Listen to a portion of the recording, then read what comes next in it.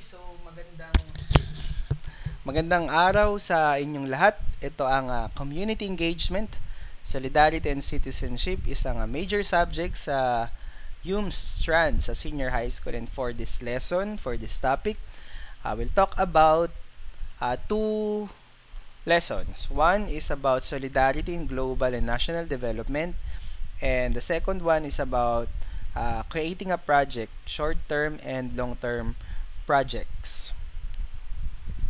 So these are our uh, competencies and uh, hopefully by the end of this lesson, you will recognize the importance of solidarity in promoting national and global community development.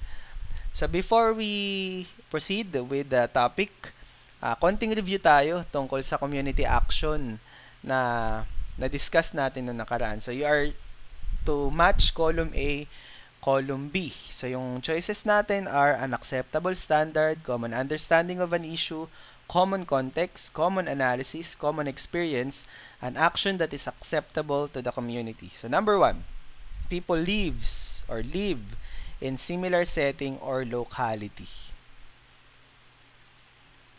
That's C, common context. Number two, people encounter a comparable experience individually or collectively. So, nandiyan na yung clue, your, the word experience. So, definitely, that's E. Number three, people have more or less a similar view of the issue at hand. Nandiyan na din yung clue, yung salitang issue. So, that's letter B. People went through a process of analyzing the issue and many have similar take on the issue partly or in a whole. That's D, common analysis. Five, people usually establish a minimum standard in undertaking an action together. That's A. And last, number six, people discuss and agree on what action to take, who will take the lead, who will do the supporting roles, and who will do their tasks. So that's letter F. That's F actually. An action that is acceptable to community. So, um, in the previous lesson, na mention doon yung importance of community action and the different qualities and steps that uh, are needed to be considered if people in the community want to do a positive change and moving or mobilizing the people in the community is actually called community action. So for for a purpose or the divine purpose of uplifting the lives of people in the community That's one thing about community action. This time, we have focused more on solidarity. And the pictures that you see on the screen are efforts done by many people around the world and around the country who believes that uh, there's we need to restore faith in humanity and that's basically uh, solidarity that's basically the value of solidarity. So pag nakaka-participate tayo during uh, during the pre-pandemic era or period nung may feeding program, pag may mga nasalanta, tapos you are to uh, donate, 'di ba? Parang anything na hindi mo na ginagamit, food packs or damit And pag may mga cleanup drive sa community ninyo, pag may mga tree planting activities, and even uh, seminar workshop in livelihood and even uh, for the youth leadership, lahat yan ay may purpose. And isang word ang lumalabas sa mga purpose na yun, solidarity. So, by the end of this lesson, I want you to uh, ponder on this question. So number one, what is the importance of solidarity in community development? And second, um, maibigay nawa ninyo yung mga characteristics ng short-term and long-term community projects because uh, sabi ko nga kanina, itong lesson na ito ay two parts. The other one is about solidarity. And number two, ano yung effect ng solidarity? One is having or conducting projects. And in conducting projects, you have short-term and long-term kind kinds of projects. So what is solidarity? So solidarity is about regarding our fellow human beings justly and respecting who they are as person. So parang um, one word, respect. Parang you you recognize people, uh, other people as equal as you are. No matter what standard uh, you have, no matter what kind of status in life you have, you need to recognize other people as fellow humans with equal rights and equal opportunities as you are. Uh, because that's uh, the principle in solidarity and humanity. And by doing so, you are also opening the opportunity for other people to see you equally as they are. O, di ba nga, respect begets respect. So, you get solidarity if both people or people in the community are respecting or recognizing each other equally and justly. So, paano nasabi na tao yung pinag-uusapan sa solidarity? Simple lang, a person is connected to other person, to other people, to the society, to the community, and to the environment. Ito naman, babalikan ko yung prinsipyo sa ecology na um, principle of interrelatedness. Ayan, nilagyan natin ng konting science. Ano? So, um, pag sinabi nating interrelatedness, it is the idea that no one is actually alone. No one is actually an no man actually is an island kahit sabihin mo na kaya mong mabuhay mag-isa, pero yung pagkain kinakain mo ay galing naman sa kamay ng mga magsasaka at mga mangingisda at manggagawa. Hindi mo pa rin pwedeng sabihin na kaya mong mabuhay mag-isa. Kasi kinailangan mo ng pagkain na hindi mo naman na-produce. Let's say you're living alone. Uh, you're living independently.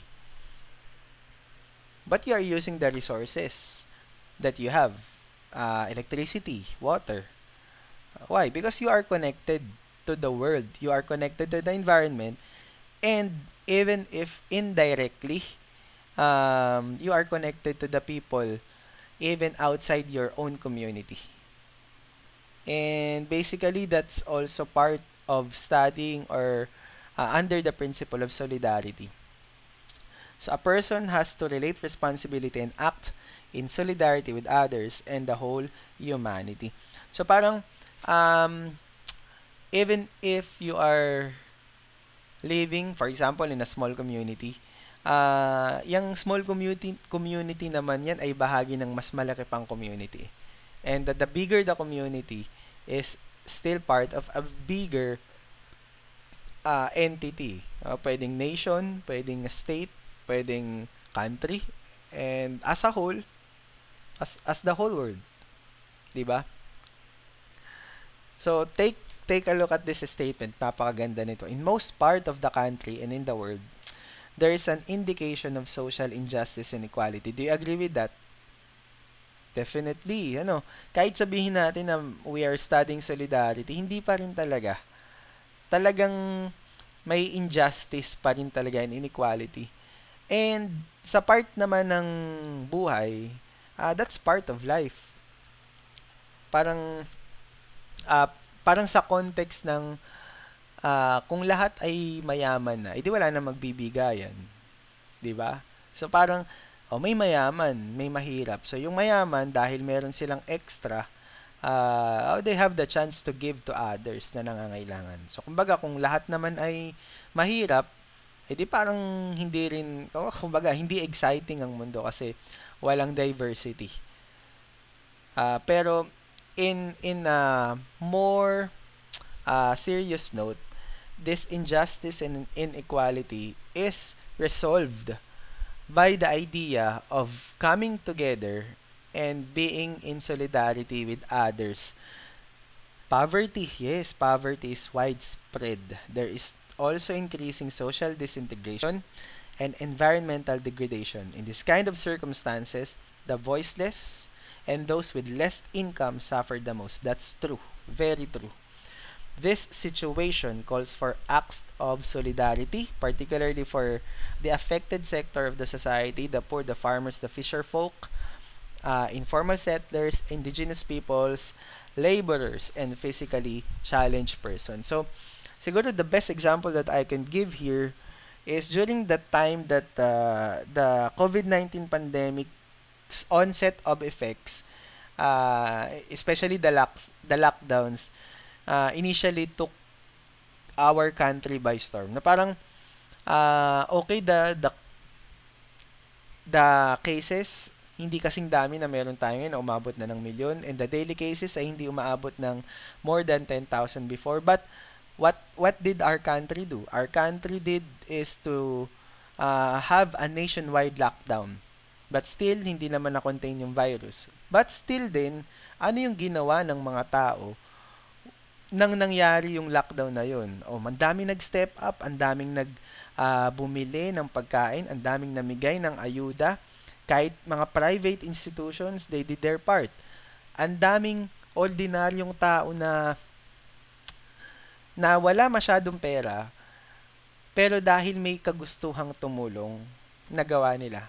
Yung mga gumawa ng face mask, yung mga ma, yung mga mananahi na yung tela na sana na pwede nilang gamitin para sa pagtahi ng kanilang mga tinatahi ay idinonate nila for common good, for the common good, for the benefit of other people who are um, in need.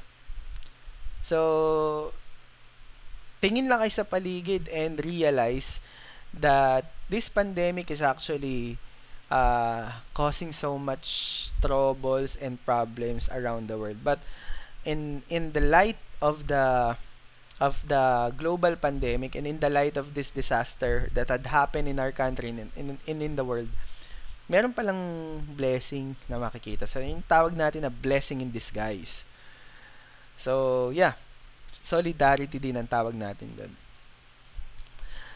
So a community, not simply as assemblage of of people brought together by their common experience, practice, and shared values, but also a collective body bonded together by solidarity. So parang mas maganda daw ma-realize na nagbaband yung tao hindi dahil parang may need, pero dahil uh, gustong ipakita na posibleng magkatulong-tulong ang mga tao for a certain cause.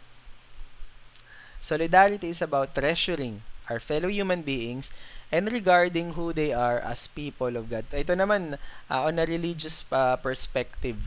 So uh, the one of the greatest teachings of the of faith uh, with any denomination any religion is yung uh, helping others.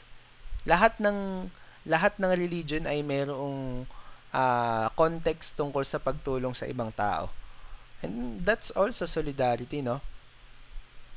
So sabi nga ni St. Paul, John Paul II, building a community that empowers everyone to attain their full potential through each of us, respecting each other's dignity, rights, and responsibility.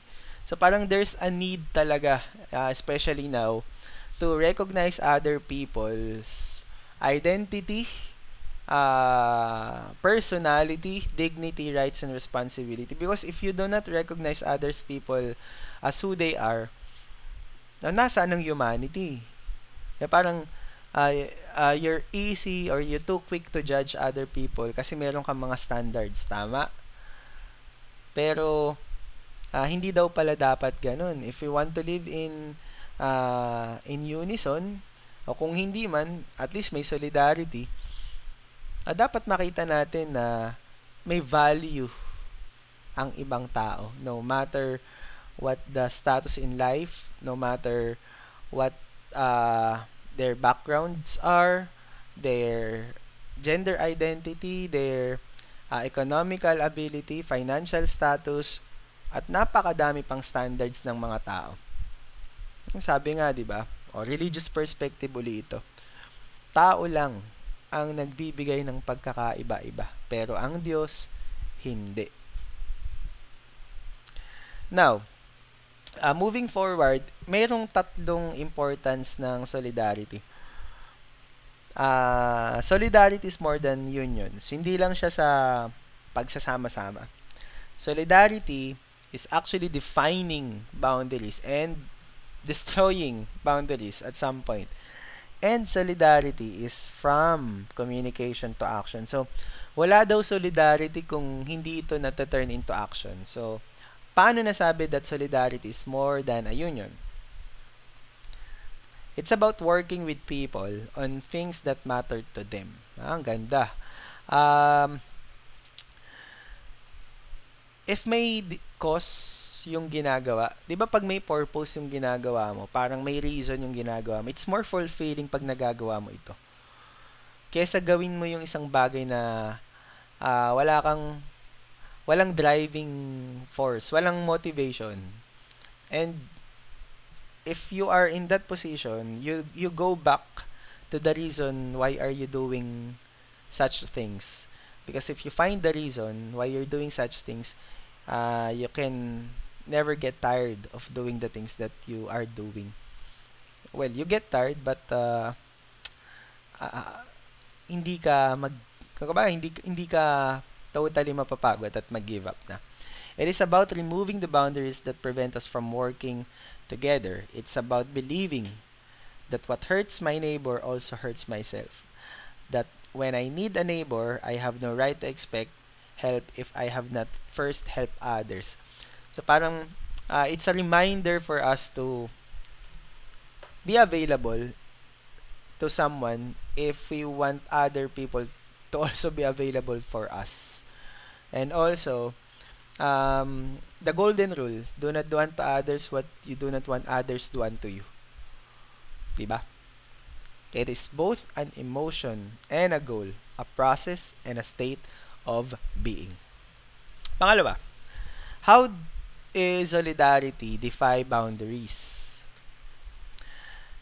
So, ano itong ano-ano itong mga boundaries na ito? So, ako ang term ko dito ay standards because uh, uh, sabi ko nga 'di ba, if if people tend to well, walang masama pag sa pag sa pagse-set ng standards pero not everyone stake not not everyone's take on things are the same as you do.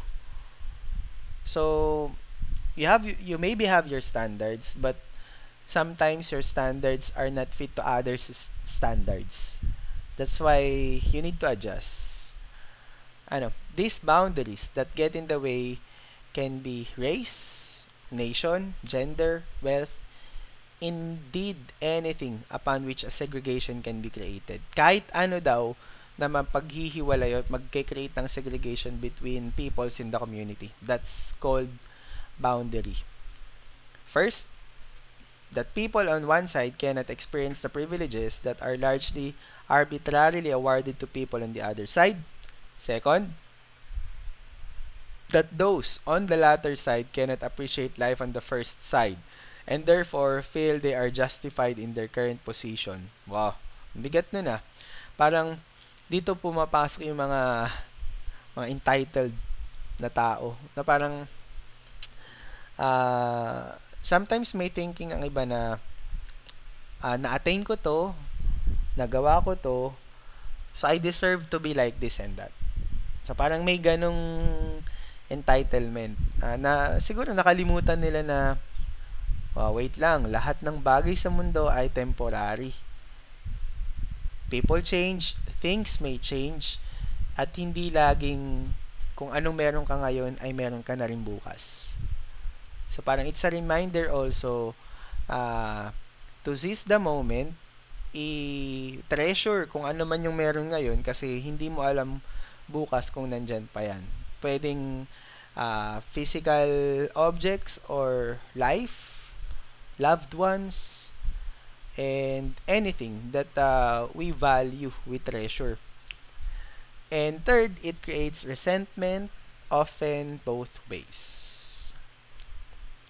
Solidarity is from communication to action. This is very uh, interesting because o sabihin natin merong solidarity pero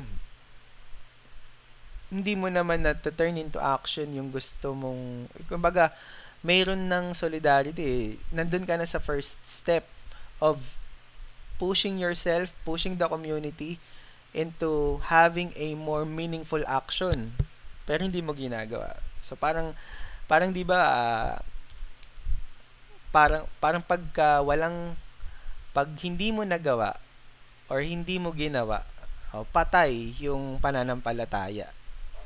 Faith without deed is dead. So parang mas maganda na naisip mo to, na-envision mo to, gawin mo. At mag-expect ka ng result. No matter how good or bad, how big or small the result is, at least you did. And if you have um, a realization or sa sarili mo na maganda yung intention mo, you can never go wrong if your intention is good. As long as you do it right in the right way. Solidarity can flow from communication, but it requires action to become a real and present force. Without solidarity, without considering the needs of others, creating a more civilized world will be a challenge. Okay, that's very true. Uh, lalo ngayon sa mundo natin that we're so divided and uh, ang daming threat sa paligid, ang daming uh, posibleng pwedeng mangyari that we do not have any control, lalong-lalo na kung ordinaryong tao lang naman tayo. But still, an ordinary person can do extraordinary things dahil kaya naman talaga. O ito, dagdag uh, uh, lesson or next part ng lesson natin is about short-term and long-term projects. Well, projects are done for many reasons. To help the community, to help people get employed, uh, to build a better uh, community, yes, and uh, projects are done with many reasons. Uh, tignan natin yung pagkakaiba ng short-term and long-term projects. Short-term, uh, pwedeng matapos siya in few hours, uh, pwedeng seminar, or in few days, or in weeks, mga maliliit na project. Pero yung long-term projects takes uh, take months or even years to finish. Let's say sa ating country, yung mga project of the government, yung mga build, build, build projects, Uh, yan ay nagsimula pa sa panahon ni President Aquino na yung iba natapos sa panunungkulan ni President Duterte at yung iba baka pwedeng matapos pa sa panunungkulan ng susunod na pangulo ng ating bansa. Sometimes ginagawang uh, away pa ng mga tao kung sino yung nagpasimula, kung sino yung nagtapos, kaninong project natapos. Pero kung titignan nating mabuti, uh, dapat hindi na natin tinitignan doon. Dapat tinitignan na lang natin. Natapos yung project at ang magbe-benefit nito ay walang iba kundi ang Pilipino. Dapat ang loyalty natin ay nasa mga Pilipino at wala sa mga leaders. Oh, we respect our leaders but our loyalty remains to our country and to our people. Kasi wala naman yung mga leaders natin kung walang tao. 'Di ba? Effective project managers start by assessing the project need and determining how much time is needed to meet the desired outcome. So parang uh, if if if people want to accomplish something, uh, may mga project managers and project leaders to do the assessment, the project costing, uh, ano pa yung mga process in conducting the project. Um, maybe researching and creating feasibility projects or studies and evaluating. And uh, bago mag-evaluate, o implementation, di ba? So, first consideration is the budget. So, paano daw ang budget ng short-term at saka ng long-term project? Siyempre, yung mga long short-term projects, uh, less yung resources and money para ma-complete yung project na ito.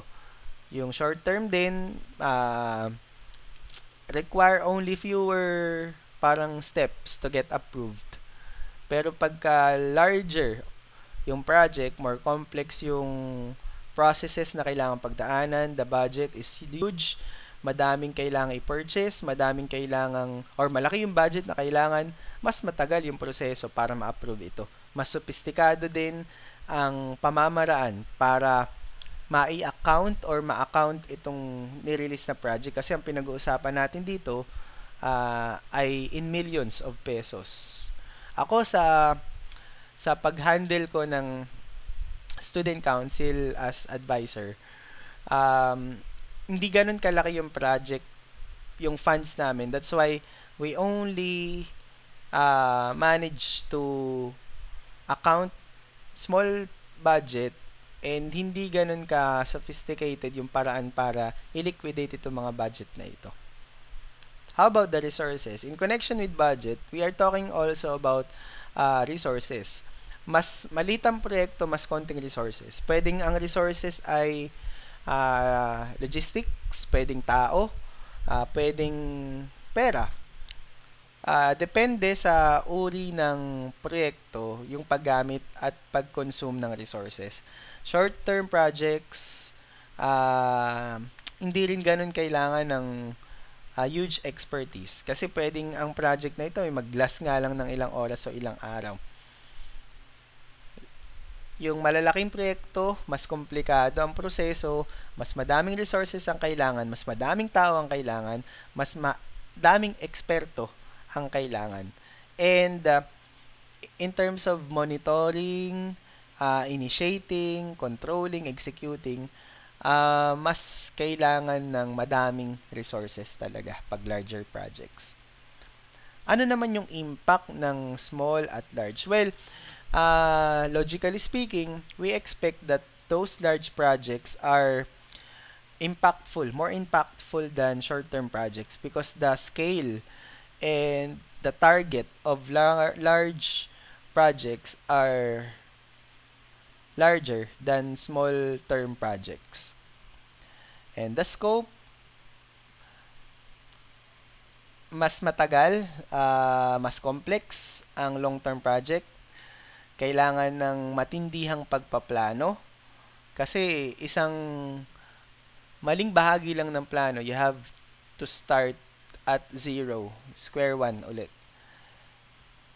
Long-term projects may be divided into smaller projects to make them more manageable and to produce more immediate results. Yes, that's true. Uh, nagkakaroon ng pagdi-divide ng portion ng malalaking proyekto into smaller projects para nakikita yung mga milestones of the projects. Short-term projects typically focus on single goal. So take note the difference between short-term projects and long-term projects and the uh, four considerations, the budget, the resources, the impact, and the scope. For my uh, learners, for my students in our school, I want you to plot your additional information in differentiating short-term uh, community action initiatives and long-term community action initiatives. So, for this, um, pwede kayong tumingin ulit sa community ninyo. At o kaya kung may kakilala kayo na taga barangay o kaya taga local government unit or taga munisipyo pwede kayo magtanong ng isang proyekto, isang short term at saka isang long term. And you ask the source of the budget. Kung ibibigay nila yung price, yung amount, why not? Uh, for the resources, ano yung mga ginamit nila na resources? Ano yung impact na inaasahan nila kung hindi pa tapos yung long term, kung tapos na yung short term, ano yung nakita nilang impact? And scope ang nakalagay dyan, larger, but I want you to be more specific. Ano yung sakop? Gaano kalawak? Gaano katagal? Uh, sino ang magbe-benefit ng mga proyekto na ito? And this another uh, this is another activity for my learners. Uh, gusto kong gayahin nyo yung colors. Merong blue, light green, uh, yellow, and orange. Pero dito ang nakalagay, blue, green, light green, and orange. Pero pwedeng yellow na lang yung sign orange. Um, characteristics. Please put the characteristics of long-term and short-term community in terms of budget, resources, impact, and scope. So, i-assign na natin ang blue para sa budget, green para sa resources, light green or yellow para sa impact and orange para sa scope. And lastly, please answer the following questions. what is the importance of solidarity in community development, give at least examples of long-term and short-term community projects, and based on the result of the assessment, enlist as at least three community action initiatives that you wish to recommend in your own community. So if you have any questions about the task, feel free to message me in our uh, group or you can DM me para ma-address natin. So see you in our next lesson. Thank you very much for your time. God, God bless and stay safe.